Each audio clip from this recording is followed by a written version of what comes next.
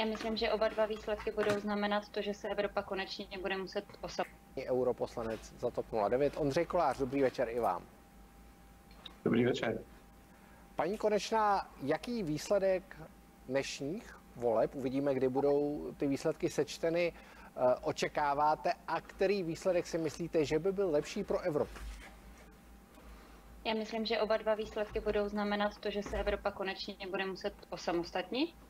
A podle toho, jak známe názory obou kandidátů, tak to bude buď to osamostatnění velmi rychlé za Donalda Trumpa, anebo to bude pokračující válka na Ukrajině, další zbrojení a další podpora Ukrajině za Kamaly Harrisové, ale i ta bude dovnitř Ameriky dělat opatření, které mohou pro Evropu, pro evropský průmysl, pro evropské občany e, znamenat především to, že si prostě budeme muset uvědomit, že se nemůžeme upnout pouze na jednoho spojence, ale měli bychom dále e, daleko více rozšiřovat politiku všech azimutů, což my tvrdíme dlouhodobě, protože ukazuje se, že například ten e, inflační akt, který tam udělali, to znamená podpora vlastně podnikatelů, podpora toho, aby přicházeli i evropští podnikatelé do Spojených států amerických, může mít pro Evropu fatální důsledky a od toho nechce ustoupit ani jeden z kandidátů. Takže já samozřejmě eh, vnímám, že každý z těch kandidátů má své specifika. Z druhé strany si myslím, že to bude znamenat pro Evropu velké vystřízlivění a já na něho upozorňuji už velmi dlouho, že ta závislost je příliš velká a nic pozitivního nám prostě nepřináší. Pane Koláři, stejná otázka pro vás. Já se tady ku podivu shodnu s paní kolegyní Konečnou na tom, že eh, Evropu nutně čeká nějaká forma osamostatnění. Já ji vidím hlavně v oblasti obrané politiky, protože na Americe jsme v tomto ohledu až příliš závislí a často eh, spoléháme na to, že eh, ten silnější, byť mladší bratr za velkou louží nás vždycky přijde vytáhnout z bahna, když je potřeba. Eh, ukazuje se, že to tak nemůže být. Eh, dlouhodobě to není únosné. Amerika nemá zájmy v Evropě. Amerika je globální supervelmocí, která teď musí napínat eh, svůj zrak a svoje síly do oblasti Pacifiku, kde jí roste konkurent v podobě Číny. I tam má svoje zájmy logicky, historické. Nemyslím si, že pokud by vyhrála paní Kamala Harris, tak by to znamenalo nutně nějakou eskalaci nebo zhoršování bezpečnostní situace ve světě, eh, případně prodlužování války na Ukrajině. Eh, ten, kdo je zodpovědný za válku na Ukrajině, je Ruská federace, nikoli Spojené státy americké. Spojené státy americké stejně jako my vyznávají ty hodnoty, že slabším je potřeba pomáhat a státu, který stojí na stejných principech a eh, na stejných hodnotách jako my, jako naše společnost euroatlantická, tak si tu naši podporu zkrátka dobře zaslouží. Ukrajina je naším spojencem a není naší vinou ani vinou Spojených států, že proti ní Rusko vede válku. Eh, pokud vyhraje Donald Trump, tak eh, souhlasím s tím, že to bude jakási forma šokové terapie, kdy si Evropa opravdu uvědomí, že eh, časy, kdy se mohla ve všem spolehnout na Spojené státy, končí a je potřeba se začít chovat sebevědomně, a uvědomit si, že jsme a musíme být jedním globálním hráčů. Paní Konečná, eh, Donald Trump, už jste oba zmínili Ukrajinu, eh, původně říkal v té kampani, že ukončí válku na Ukrajině. Nicméně v těch posledních rozhovorech říkal, že eh, na tom trvá, ale nechce říct, jak to udělá. Každopádně, že přivede k jednacímu stolu Vladimíra Putina i Volodymyra Zelenského.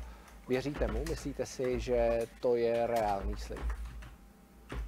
Tak Donald Trump ve svém minulém mandátu byl tuším jediným americkým prezidentem v posledních dekádách, který nezačal žádnou další válku. A to je, myslím, velmi podstatné. Eh, několik jich ukončil.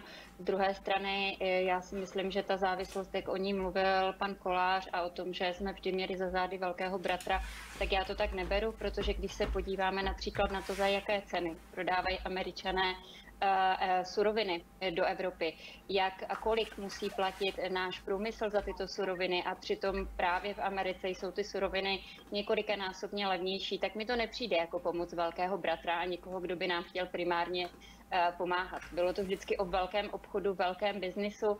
A i to, jak se Amerika zachovala v rámci států, které nám dneska posílají migranty, ať už to byla Sýrie, Líbie, Irák, nebo například v 90. letech Jugoslávie, tak na to bychom neměli zapomínat. To znamená, eh, já nevím, jak to Donald Trump chce udělat, nevím, jaké má plány, ale když se hodnotím to, jak neviditelná byla Kamala Harris, jak vlastně jsme o ní nevěděli do chvíle, než eh, Biden už byl natolik eh, neschopný, že už nebylo dále možné ho v tom úřadu držet ani přes snahy novinářů a všech a pak šáhli po ní, tak eh, za Trumpem prostě zcela jasně stojí to, že nikdy žádnou další válku americkou nezačal. A to je pro mě poměrně důležitá informace.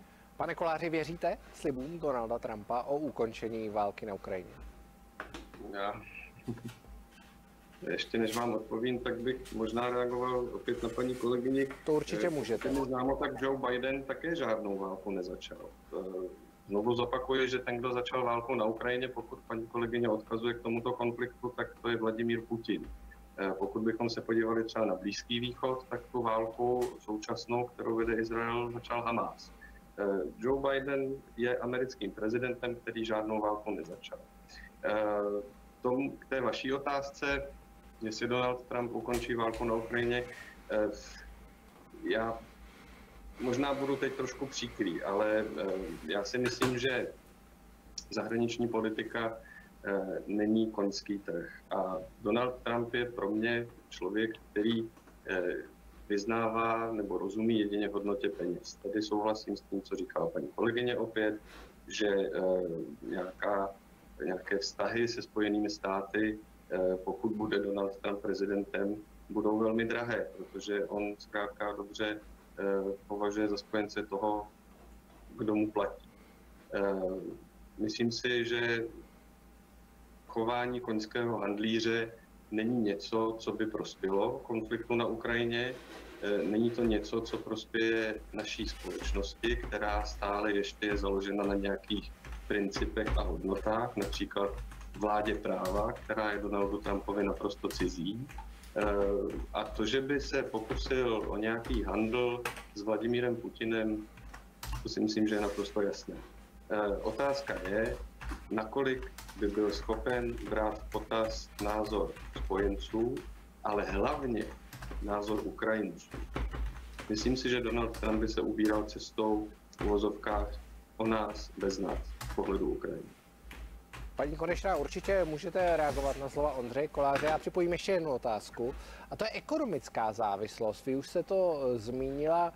Mm, Spojené státy už pomocí toho Inflation Reduction Act, kdy podporují nebo dávají daňové úlevy firmám, které investují do zelených technologií, nalákali celou řadu evropských firm k sobě. Uh, nicméně jsme závislí i surovinově na Spojených státech momentálně, protože velká část zemního plynu ve formě skapalněného zemního plynu proudí do Evropy a nahradila ten ruský plyn. Uh, uvědomují si toto europoslanci, uvědomují si toto lidé v Bruselu, v Evropské komisi a podobně? Je to zase krásná ukázka toho, jak to američané hrají a jak eh, někteří mý kolegové velmi rádi říkají, jak jsou báječnými spojenci a ono to tak ve skutečnosti není. Protože výjimky eh, z toho Inflation Reduction Actu má Mexiko a Kanada, nemají, nemají je země Evropské unie, což způsobuje to, že on v podstatě z jedné strany byl zaměřen primárně třeba i na Čínu a na Ázii, ale vlastně poškozuje zoufalé Evropu a Spojeným státům je to tak trochu jedno, nebo naopak si to užívají, protože prostě tak toto je. Eh, já nevím, jestli si to uvědomují. Podle mě ne dostatečně. Já jsem se eh, předtím snažila varovat celých svých deset let eh, na výboru nebo v Evropském parlamentu na jednotlivých výborech v různých nařízeních a usneseních, které jsme schvalovali.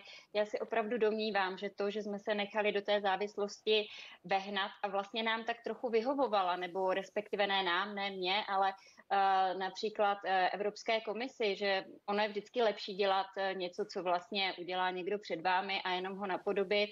A i když to nemá ten efekt, tak u toho nemusíte moc přemýšlet, což bylo přesně tohle, tak nás prostě dneska zahnala do situace, ve které jsme, ve které bohužel se stagnující evropskou ekonomikou a se stagnujícími čísly v rámci celého světa z Evropské unie, tak se budeme těžko, ale těžko vyrovnávat. Takže eh, já bych si přála, aby to uvědomění přišlo.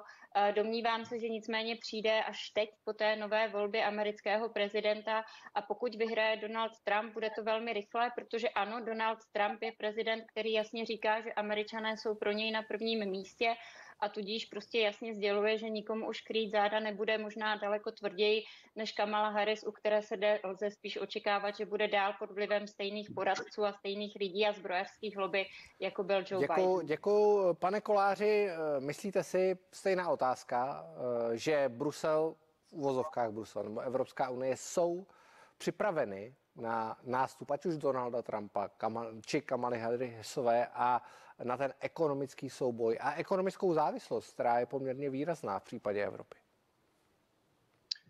Musíme na to být připraveni. Já už jsem o tom mluvil, eh, stejně jako paní kolegyně. Eh, já to nevidím jako závislost Evropy na, na Americe. Já to vidím tak, že eh, Amerika je pro nás partner, který zkrátka dobře sdílí stejné principy jako my. Máme partnery i jinde po světě, v Ázii například, v Latinské Americe, ale nabízí se mi tady otázka v reakci na paní kolegyni, když ne Amerika, kdo tedy jsou ti naši opravdoví spojenci, protože eh, a znovu, když tady odkazuje na zbrojařské firmy, na které firmy, které nám budou schopny pomoct eh, s naší obranou, eh, se máme spoléhat než na ty americké, které bohužel, nebo možná bohu dík tedy, ne bohužel, bohužel pro ty evropské firmy, dodávají to nejlepší, co na trhu je. Eh, já si myslím, že pokud bude prezidentem Donald Trump, tak eh, Evropa bude muset přizpůsobit samozřejmě svoji obchodní politiku, protože on vyhrožuje zavedením vysokých cel, dělal to už v tom svém prvním období. Eh, já doufám, že Evropa si tohle to uvědomuje, věřím tomu z těch rozhovorů, které tady vedu s kolegy, tak jsou si toho všichni vědomi, všichni to mají v patrnosti a myslím si, že pokud by se Donald Trump opravdu vydal cestou nějakého izolacionismu, Ameriku uzavřel, eh, řekl třeba, že ji nenechá otevřenou ani eh, těm úzovkách migrantům, které Amerika sama potřebuje, což jsou ty mozky, které do ní z Evropy proudí, tak to ve finále Evropě i pomůže, protože tyhle lidé zůstanou tady a svoje know-how eh, budou používat ve prospěch Evropy, nikoli Spojených států, které ho potom přeneseně nabídnou nám. Tak já vám oběma děkuji za rozhovor a přeji hezký večer. Děkujeme za pozvání, hezký večer. Díky, nashledanou.